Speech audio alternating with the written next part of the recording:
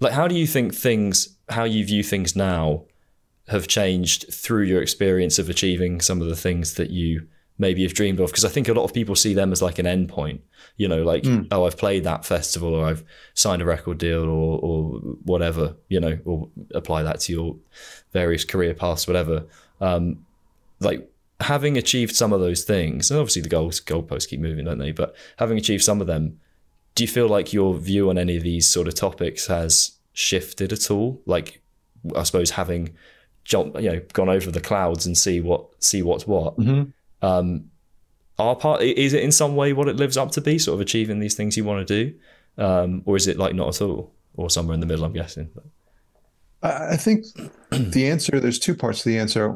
One is that it, do, it does achieve to some degree especially if you obsess over these things. Like if you've dreamed of playing you know wembley stadium your whole life you know, and it's a bucket list thing. You never think you will do it. And then you do it. It's going to feel insane.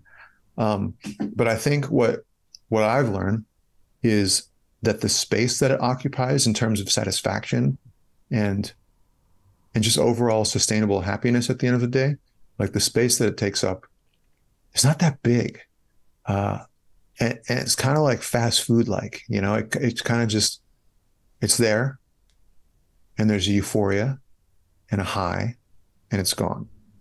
Um, and there's pictures of it, and there's video of it, and there's memories, and there's you know stories that you can you can tell back and forth with people who were also there. Um, but it's it doesn't stick around, and that's the one thing that I don't think I ever really thought about. Um, that that stuff doesn't really matter I, I shouldn't reduce it to that. I don't want to say it doesn't matter, but it's just not this, you know, omnipresent thing.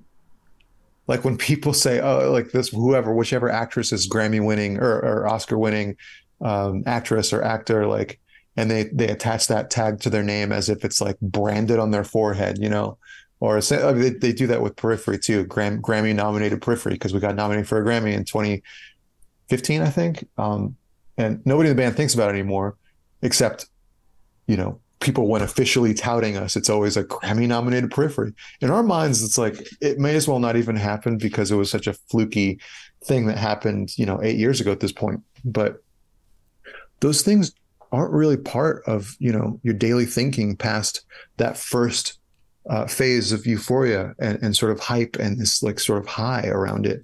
Um, and the thing that I've learned from that is the things that I held close to my heart before any of this stuff are even more important. And I've learned that those things are the real stuff of life, the real kind of main event of why I'm here. Like time with my friends, time with my siblings, time with my parents, time with my wife, time with my dog, time with any you know any number of the hobbies and things that like like going going camping with my family with with my wife to going on walks traveling with people i care about like the same stuff that i loved back before any of that like i love even more now because year after year i'm becoming more aware of how much space that occupies in my heart you know like how much more whole that makes me feel as time goes on, as opposed to the music stuff, which don't get me wrong, the music is whether I like it part whether I like it or not, part of my identity. It's like who I am. I'm a musician. I love guitar. I love music. I fucking love heavy metal. I love all of it. But at the same time, like that's not that doesn't ever dictate who I am day to day, person to person, who I'm talking to and who I'm communicating with. Like that's that's not what I lead with. And at the end of the day, when I'm on my deathbed. I don't know. This is going to sound really lame, but I don't think those are the kinds of things that I'm going to be clinging to. Um, you know, when it's my time to go, you know, I'm, I'm going to be thinking about the stuff that's that's really occupied. I keep saying most of that space, you know, in, in my heart, you know, and that's that's what I found out over the years.